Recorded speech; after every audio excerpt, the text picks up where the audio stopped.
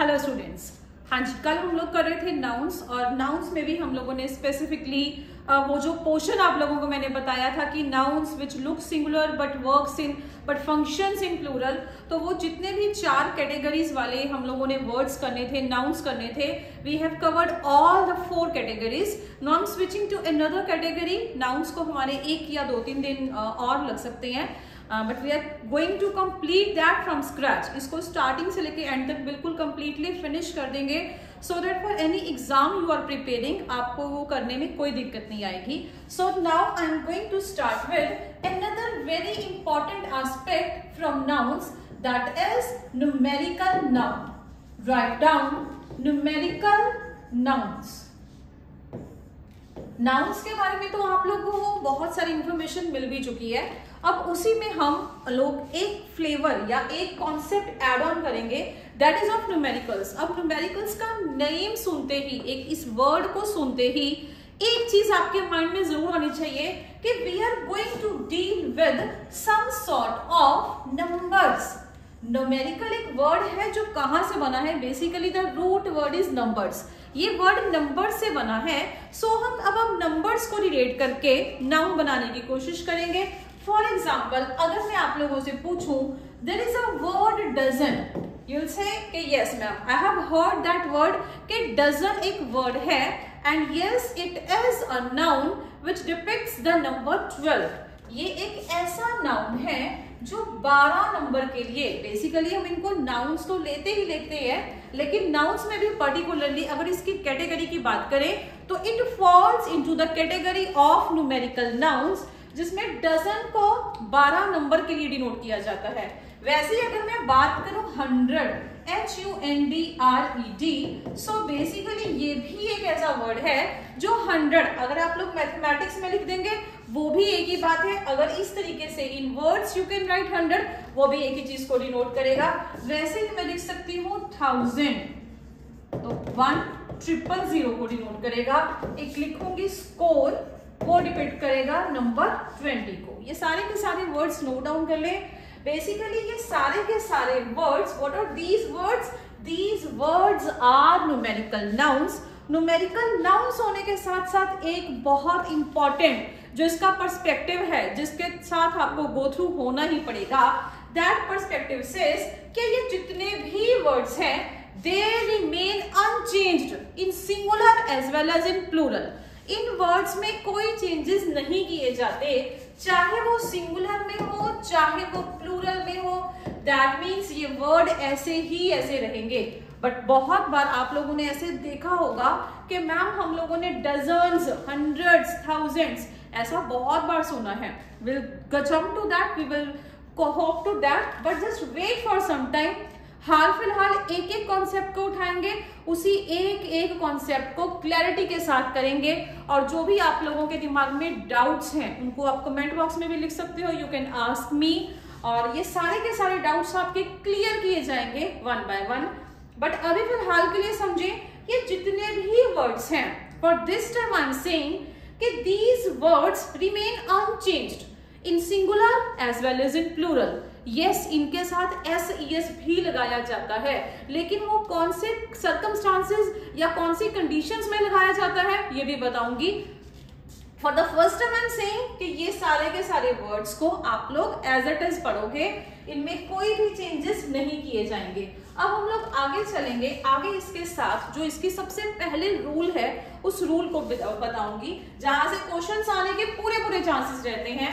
Just write down if counting is used if counting is used if counting is used before numerical noun if counting is used before numerical noun अगर कोई भी counting use कर देंगे numerical noun से पहले in this case in this case of is not used of is not used ऐसे किसी भी केस में आप लोग ऑफ़ को यूज़ बिल्कुल भी नहीं करेंगे।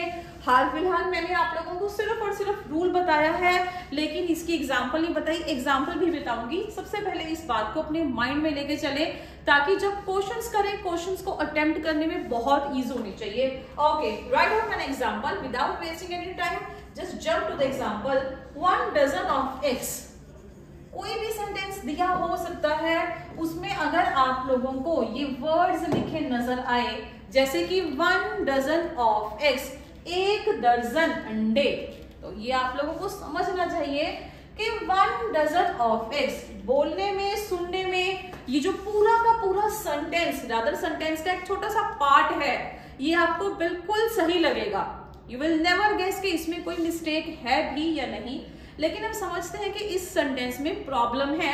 प्रॉब्लम कैसे है? There is a word dozen अब से पहले शायद आप लोगों को डाउट हो कि बेसिकली डजन है क्या? But now this time you are very much aware of this thing कि dozen is a word that represents numerical noun I am writing here N N which stands for numerical noun ये एक ऐसा word है जो numerical noun को denote कर रहा है। उसी के आगे मैंने लिख दिया वन वन बेसिकली क्या है? One is a counting number one एक ऐसा नंबर है जो काउंटिंग जहीं से काउंटिंग स्टार्ट होती है। इनसे ज़ीरो से भी कह सकते हैं but one is also part of counting so one एक काउंटिंग का पार्ट है। उसको हमने कहा पे यूज़ किया? बिफोर द न्यूमेरिकल नाउन तो इस केस में एक ये रूल बिल्कुल आप सबके सामने लिखा हुआ है। कि अगर ऐसा केस आ जाए in this case of is not use I have written of in single commas so what will the what will be the will कि आप लोग यहाँ से ऑफ़ को हटा दोगे। ऑफ़ को हटाना पड़ेगा, इसी वजह से हमारा सेंटेंस आते आते सेंटेंसेस गलत हो जाते हैं। मोस्टली ये जितने भी क्वेश्चंस अभी हम लोग डिस्कस करेंगे all these constitutes of error detection error detection वाले जितने भी क्वेश्चंस बनते हैं, वो ज़्यादातर इसी पोर्शन में से पूछे जाते हैं। वन डजन ऑफ़ एग्स ज़्यादातर ये सुनने में सही लगेगा but I hope I hope कि आप लोगों को समझ में आया होगा कि dozen is a numerical noun one is a counting word तो इसके साथ ऑफ़ का यूजेज नहीं होगा। So the correct part of sentences one dozen X अगर ये इसी स्ट्रक्चर में होगा तो ऑफ़ को हटाना ही हटाना पड़ेगा। आगे लिखते हैं जी two hundred of books next write down इसी के साथ एक example two hundred of books two hundred of books अब देखते हैं कि इस छोटे से सेंटेंस के पार्ट में क्या गलतियाँ हैं और आप लोग उसको कितनी जल्दी रिमूव कर सकते हो। वीडियो को पॉज करो और फटाफट से इसी से इसी से एरर निकालने की कोशिश करेंगे एंड विल चेक कि कितने एरर्स आप लोग इजीली रिमूव कर पाते हो। हंड्रेड्स सबसे पहले मैंने आप लोगों को एक वर्ड बताया था कि हंड्रेड्स जैसा। अभी मैंने इसके बारे में बताया है कि हंड्रेड ही वर्ड रहेगा। It remain unchanged in singular as well as in plural अभी तक का जितना मैंने आपको सिखाया हंड्रेड का हंड्रेड्स नहीं बना सकते। दैट मीन्स सबसे पहले हम लोगों को यहाँ से एस को हटाना पड़ेगा। हंड्रेड आ गया, अब बात सही है। हंड्रेड अपने आप में क्या है? न्यूमेरिकल नाउन टू इसके आगे क्या है? काउंटिंग तो इसके साथ ऑफ़ फिर से यूज़ कर दिया। ऑफ़ को हटा देंगे बुक्स तो रहेगा ही रहेगा, क्योंकि वो तो प्लूरल वर्जन हो सकता है। हंड्रेड का प्लूरल वर्जन अभी तक के मुताबिक नहीं हो सकता। So the correct part of sentences 200 of 200 books you have to eradicate of 200 books 200 किताबें। So the right answer is this just फटाफट से इसको नोट डाउन कर ले। अब आपको आगे की मैं साथ के साथ इसका दूसरे वाला रूल भी बताऊँगी। ये रूल्स जिसे जैसे जैसे आएँगे, जिस जिस फॉर्मेट में सेंटेंस आएगा, आप उसको उसी फॉर्मेट में करेक्ट करते जाओगे। Okay write down next rule if counting if counting is not use अगर उसके आगे काउंटिंग नहीं यूज़ करेंगे if counting is not used before numerical noun. If counting is not used before numerical noun, then we can make its plural. Then we can make its plural. सिर्फ़ इसी case में आप उसका plural बना सकते हैं and of is definitely use and write down of is definitely मतलब पक्का यूज़ होगा ही होगा। Of is definitely use write down this lines okay अब इसी इसी रूल को दोबारा से रीड करेंगे। If counting is not use before numerical nouns इसके पहले वाला रूल था जब मैंने बताया था कि आप लोग न्यूमेरिकल नाउन के आगे क्या दोगे ही दोगे काउंटिंग दोगे ही दोगे। कहीं ना कहीं आपको उसके आगे काउंटिंग नज़र आएगी। देन आप लोग क्या करोगे? प्लूरल तो उसका डेफिनेटली नहीं बना सकते हो। साथ की साथ ऑफ़ को भी हटाना पड़ गया। लेकिन अब इसका बिल्कुल अपोजिट हो जाएगा। कैसे? जब भी काउंटिंग वर्ड नहीं यूज़ होगा, किसके आगे? न्यूमेरिकल नाउन के आगे। उस केस में आप इसका प्लूरल बना सकते हैं और ऑफ़ इज़ डेफिनेटली यूज़ इस केस में ऑफ़ को यूज़ करना मैंडेटरी कंडीशन है। समझते हैं इसको एक एग्ज़ाम्पल के थ्रू जैसे I want to say dozen examples लिखने इसकी. डजन पहले मैंने बताया था कि डजन का डजन नहीं हो सकता. लेकिन जैसे कि आप सबको नज़र आ रहा है कि dozen okay I have written dozen of X if I write like this तो डजन्स लिखने से समझ में आ जाएगा कि डजन के आगे मैंने कहीं पे भी काउंटिंग का रेफरेंस ही नहीं दिया हुआ। इसीलिए मैं इसका सिंगुलर से प्लूरल चेंज कर सकती हूँ। So I have done that only मैंने डजन से डजन्स बना दिया और उसी के साथ आई हैव रिटन ऑफ़ क्योंकि ऑफ़ मैंने बताया था। ऑफ़ पक्का यूज़ होगा ही होगा। डजन्स ऑफ़ एग्स मतलब दर्जनों अंडे। दर्जनों एक्स की बात की जाएगी। जब इंग्लिश में इस तरीके का फील आएगा you have to write like this dozens of X okay apart from that एक एग्जांपल और लिख ले। Hundreds of books hundreds of books write all this example hundreds of book कितने सौ किताबें? Thousands of villages thousands of villages हज़ारों गाँव you can write like this thousands of villages हज़ारों गाँव की जब बात की जाएगी. सो so ये दो रूल्स आपको समझ में आने बहुत ज़रूरी है. इन्हीं दो रूल्स के बेस पे आप लोगों को बहुत क्वेश्चंस पूछे जा सकते हैं, जिसको आप बहुत इजीली अमेंड कर सकते हैं। अगर काउंटिंग लिखी होगी, सबसे पहले न्यूमेरिकल नाउन की पहचान होना बहुत ज़रूरी है।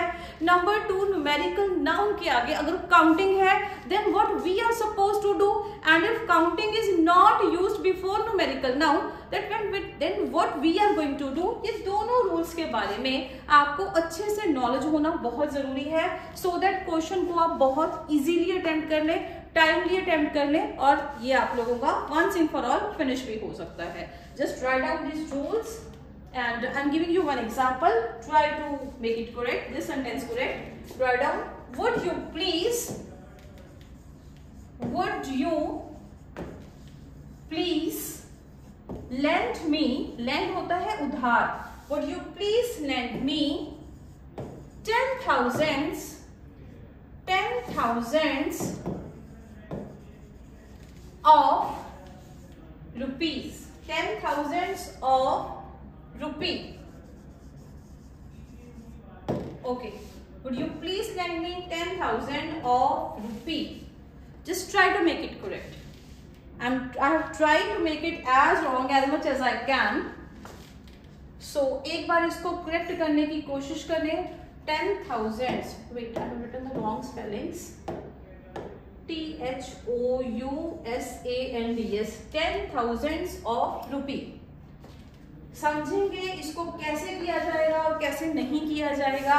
जब आप लोगों को एक बात समझ में आएगी कि यहाँ पे एक थाउजेंड्स वर्ड नज़र आया। वर्ड तो नज़र आया बट अपने आप में ये क्या है? एक न्यूमेरिकल नाउन न्यूमेरिकल नाउन होने के साथ साथ आई होप आप लोगों ने कमेंट बॉक्स में अपना आंसर मेरे को दिया भी होगा वीडियो को पॉज भी किया होगा। Would you please let me ten thousand ten thousand आया तो मैंने फटाफट से देखा कि ये एक न्यूमेरिकल नाउन है। न्यूमेरिकल नाउन होने के साथ साथ इसके साथ काउंटिंग भी यूज़ की गई है। अगर काउंटिंग है तो डेफिनेटली मैं इसका प्लूरल नहीं बना सकती हूँ। हटा देंगे हम यहाँ से सबसे पहले एस को। एस को हटाने के साथ साथ हमें इस ऑफ़ को भी हटाना होगा। आई होप आप लोगों को अच्छे से याद होगा। This is rule number one what you please let me ten 10,000 लेकिन अभी भी ये सेंटेंस गलत है। कुछ स्टूडेंट्स का इस बात की तरफ़ ध्यान ही नहीं जाता कि रुपी लिखा है या रुपीज़ लिखा है। मेरे को ज़रूर आप कमेंट बॉक्स में लिख के बताओ कि क्या आप लोगों ने रुपी वाली मिस्टेक को करेक्ट भी किया या आप लोगों ने भी उसको वैसे ही अटेम्प्ट किया? जैसे कि बाकी स्टूडेंट्स अटेम्प्ट करने की कोशिश करते हैं। टेन थाउज़ेंड इट्स ओके इसके बाद दस हज़ार रुपया तो नहीं हो सकते. दैट वुड बी दस हज़ार रुपए that means ten thousand rupees तो आई होप आप लोगों ने इसको अच्छे से करेक्ट कर लिया होगा. Just note down this example okay I am writing one another example next is two million of people two million of people 2 million of people attended the meeting. ये जितने भी आप लोगों के साथ सेंटेंसेस डिस्कस किए जा रहे हैं all these are P Y Qs ये जितने भी क्वेश्चन सेंटेंसेस में आप लोगों को एज एग्ज़ाम्पल करवा रही हूँ, ये सारे के सारे क्वेश्चंस आपके प्रीवियस ईयर क्वेश्चंस हैं। किसी ना किसी एग्ज़ाम में ये रिपीटेड है। We have directly picked the examples from the question papers so that आप लोगों को स्ट्रक्चर समझ में आए कि एग्जैक्टली exactly ये क्वेश्चन अटेम्प्ट कैसे किया जाता है। Two million of people attended the meeting video को फिर से पॉज करें और सबसे पहले इस क्वेश्चन को अटेम्प्ट अपने आप से अटेम्प्ट करने की कोशिश करें बिकॉज़ जब तक आप खुद से नहीं सीखोगे क्वेश्चन नहीं हो पाएगा। Two million of people attended the meeting दो मिलियन लोगों ने मीटिंग को अटेंड किया। सेम वही रूल नंबर वन के हिसाब से इजीली सॉल्व हो सकता था। आई होप समझ में आया होगा। यहाँ पे और कोई एरर नहीं था। एक वर्ड ही आपको हटाना था। That was of two million people attended the meeting as it is ये क्वेश्चन लास्ट ईयर किसी एग्ज़ाम में आया था। आई डोंट थिंक सो कि इसको करने में किसी को थोड़ी सी भी दिक्कत होनी चाहिए। अगर आप लोगों को इंग्लिश के रूल्स बहुत अच्छे से क्लियर हैं, आप लोगों के दिमाग में वो हैं you can easily attempt all this question very easily so इसको इस तरीके से करेक्ट करेंगे। Write down another example thousand of thousand of people thousand of people came to see the match came to see the match हज़ारों लोग हज़ारों लोग जिनको गिना नहीं जा सकता। बेसिकली अगर आप लोगों ने ध्यान दिया होगा, जो पहले वाली कैटेगरी है it belongs to it belongs to countable noun ये सारी की सारी कैटेगरी काउंटेबल नाउन्स के आसपास इर्द गिर्द घूमती है। और जो आपकी दूसरे वाली कैटेगरी है, जहाँ पे हम लोगों ने उसका प्लूरल भी बनाया था प्लस हम लोगों ने ऑफ़ भी यूज़ किया था, ये दूसरे वाले कैटेगरी हमेशा अनकाउंटेबल वाला सेंस देती है। तो थाउज़ेंड ऑफ़ पीपल मैं कहना चाहती हूँ, हज़ारों की तादाद में लोग आए थे मैच देखने। मैंने बोला, हज़ारों की तादाद में। लेकिन ये नहीं बताया कि कितने थे। एक अनकाउंटेबल वाला जब फील आया तो समझ में आना चाहिए कि थाउज़ेंड नहीं आएगा। इट वुड बी थाउजेंड्स और ऑफ़ तो डेफिनेटली यूज़ होना ही होना है। इसीलिए ये बिल्कुल ठीक है। यहाँ पे इस क्वेश्चन में एक छोटा सा एक ही एरर था कि थाउज़ेंड नहीं आना था। It would be thousands thousands of people came to see the match. इसको फटाफट से करेक्ट डाउन करेक्ट कर ले और नोट डाउन कर लें। Just try to make the notes as much as you can इनको अच्छे से अटेम्प्ट कर लोगे तो एग्ज़ाम में बहुत हेल्प मिलेगी। Okay after that I am going to give another very important part of this noun that is numerical adjective अभी तक हम लोगों ने किया था न्यूमेरिकल नाउन अब इसी के साथ मिलता जुलता एक छोटा सा कॉन्सेप्ट और है। Today we try our level best कि हमारा आज नाउंस फिनिश हो जाए so that from tomorrow onwards we can start with pronouns yes numerical adjectives numerical adjectives write down numerical adjectives numerical adjectives लिख लें, या इसी की ब्रैकेट में काउंटिंग लिख लें इट मींस द सेम कोई खास फ़र्क नहीं है। न्यूमेरिकल एडजेक्टिव आई होप आप लोगों को पता होगा एडजेक्टिव बेसिकली एडजेक्टिव होता क्या है? एडजेक्टिव्स आर डिस्क्राइबिंग वर्ड्स ये यूज़ किसके लिए किए जाते हैं? They are always use for the noun adjective हमेशा नाउन के लिए ही सिर्फ़ और सिर्फ़ नाउन के लिए ही यूज़ किया जाता है। Uh, सिर्फ़ और सिर्फ़ तो नहीं कहूँगी लेकिन एक और चीज़ है जहाँ पे हम लोग एडजेक्टिव uh, को यूज़ करते हैं। एडजेक्टिव के लिए वो यूज़ किया जाता है बट वो बाद में बताऊँगी। लेकिन एडजेक्टिव किसके लिए यूज़ किए जाते हैं? That is for sure that is only and only for noun okay numerical adjective इसको आप ब्रैकेट में काउंटिंग भी लिख सकते हैं। uh, इसके रिगार्डिंग एक बहुत छोटा सा कॉन्सेप्ट आप लोगों को क्लियर करूँगी। लाइक like मैंने यहाँ पे लिखा काउंटिंग और यहाँ पे मैंने लिखा न्यूमेरिकल नाउन यहाँ पे मैंने लिख दिया काउंटिंग यहाँ पे मैंने न्यूमेरिकल नाउन के बजाय भी आ, अगर मैं रादर यहाँ पे लिख रही noun I writing plural noun कोई भी काउंटिंग लिखूँगी plus I am writing the plural noun अगर मैं ये स्ट्रक्चर में कोई भी वर्ड लिखना चाहती हूँ तो यू विल से कि ma'am you can write anything लेकिन आप लोग स्टार्ट कर सकते हो टू के साथ. अगर मैंने यहाँ पे लिखा टू मैं लिखना चाहती हूँ दो आदमी. अब दो है तो वो एक सिंगल सिंगुलर में नहीं आएगा प्लूरल में आएगा। अगर प्लूरल नाउन यूज़ कर रहे हो, उसके आगे काउंटिंग भी डेफिनेटली दो या दो से ज़्यादा ही होगी।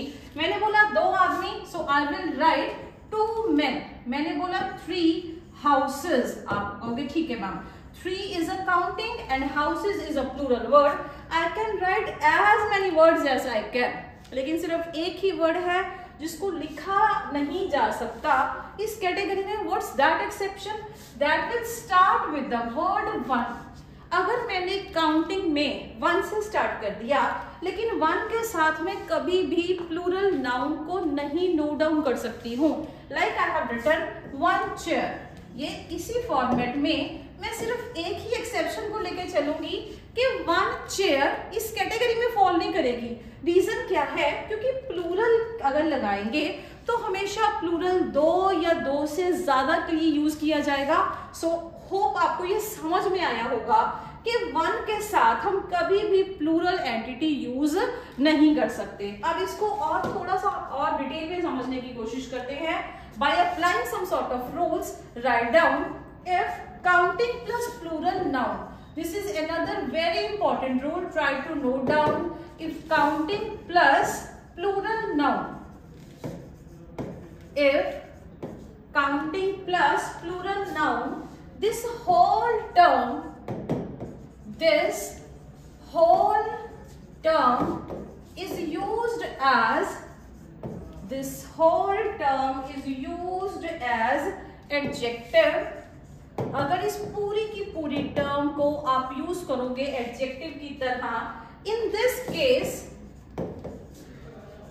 in this case hyphen is use between them hyphen is use between try to write this rule between them and the plural noun and this is the most important part which I am writing now and the plural noun must be changed to must be changed to singular noun change to singular noun इस rule को एक बार दोबारा से समझते हैं example भी करवाऊँगी लेकिन एक बार आप लोगों को रूल की क्लैरिटी होनी बहुत ज़रूरी है काउंटिंग प्लस प्लूरल नाउन अभी मैंने पिछली लास्ट स्लाइड में आप लोगों को बताया था कि काउंटिंग प्लस प्लूरल नाउन क्या क्या कैसे कैसे एग्जाम्पल्स आ सकती हैं?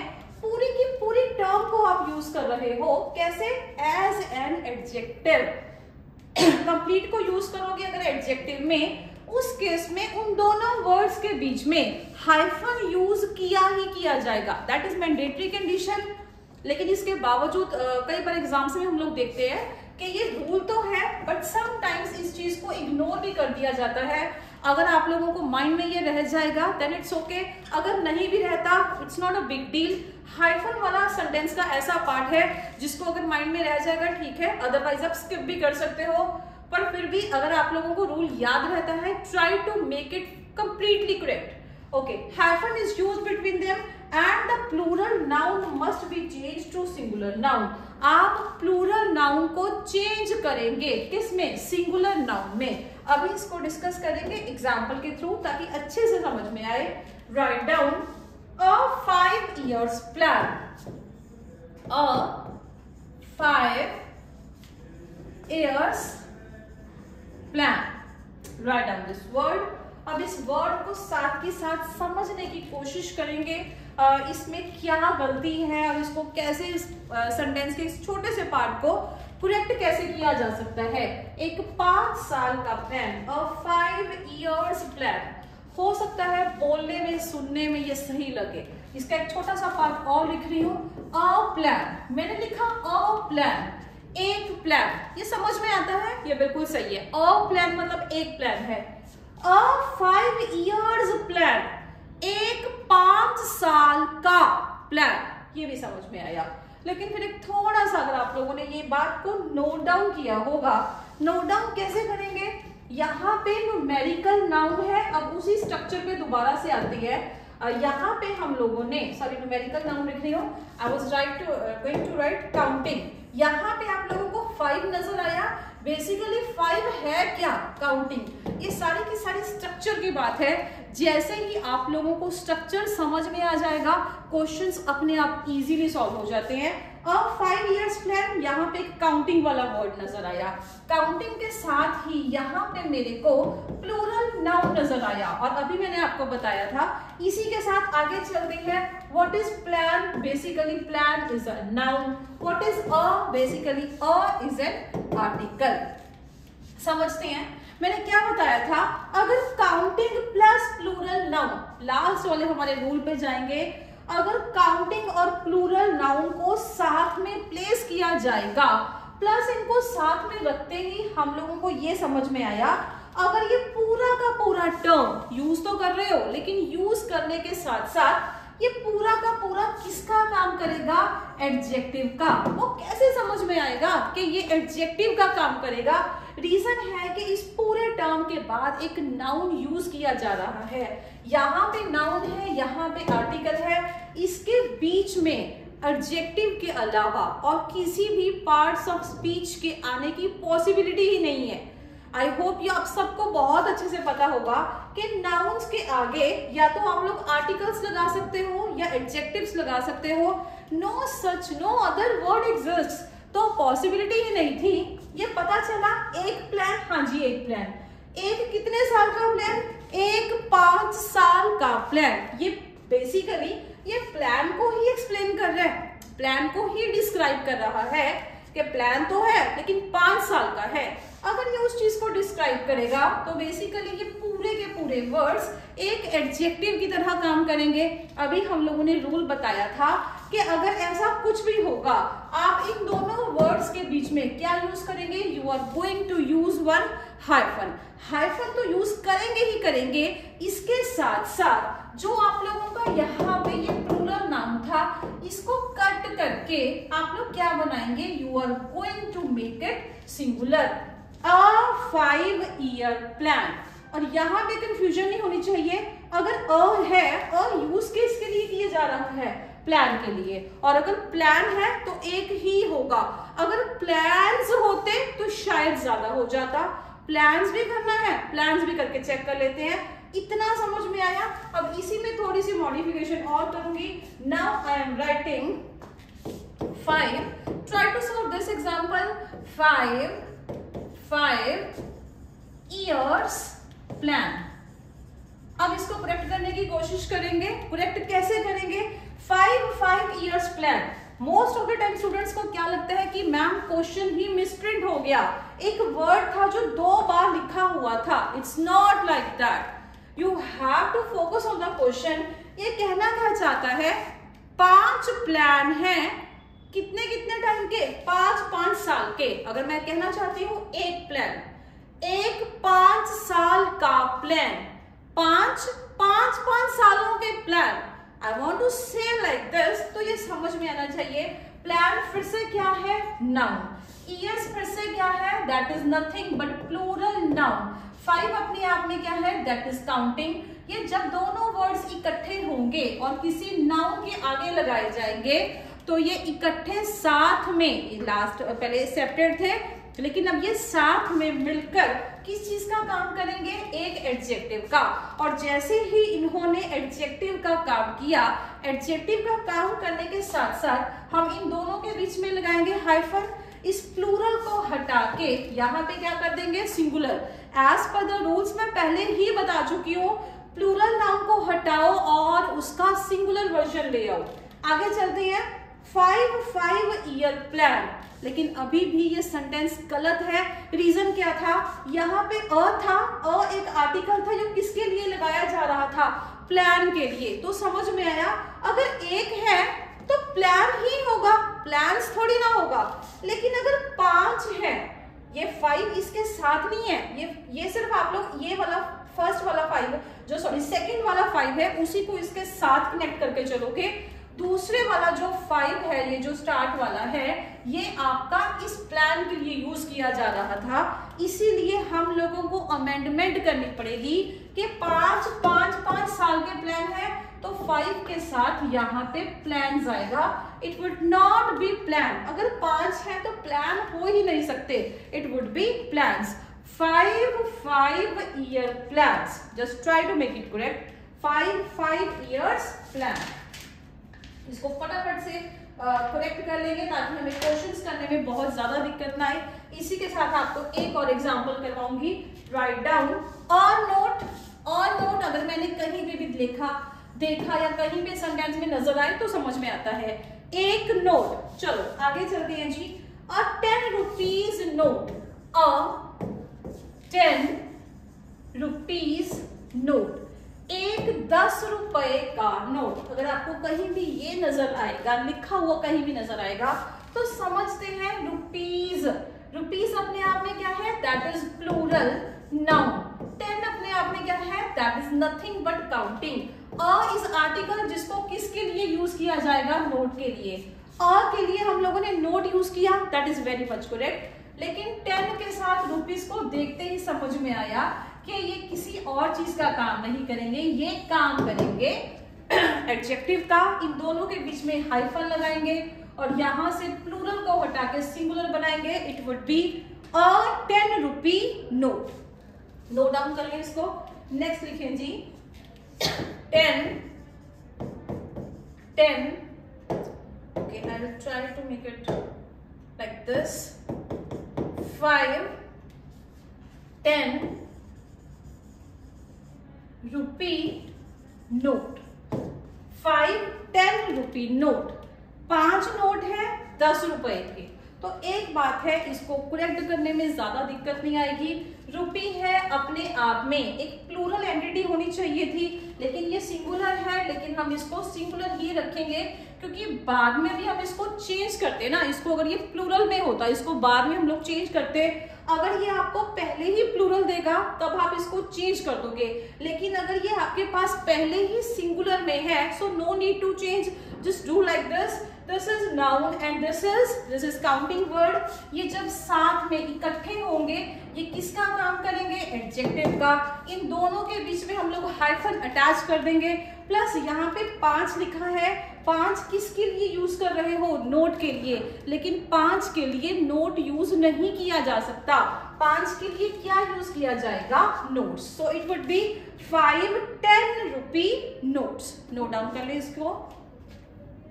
चलिए, ठीक है जी। आई होप आप लोगों ने इसको नोट डाउन कर लिया होगा। और इसके साथ के आई गैस अब हम कह सकते हैं कि नाउ हमारा ये जो नाउन है, ये फिनिश हो चुका है। इसके अलावा इसकी बहुत सारी और एग्जाम्पल्स या असाइनमेंट्स हैं, वो भी आपको मिल सकती हैं। वो आप हमारी ऐप पे जा सकते हैं। आपको ऐप के ऊपर नाउन्स के रिलेटेड टेस्ट और assignments notes each and everything that will be available to you तो नाउन्स आज हम लोगों का फिनिश होता है and from tomorrow onwards we can start with pronouns thank you